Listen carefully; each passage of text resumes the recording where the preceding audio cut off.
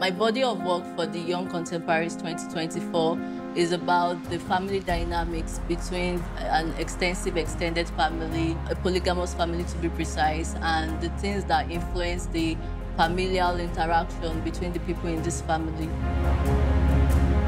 I hope people can feel what I felt when I was making this work. I hope they enjoy looking at this piece.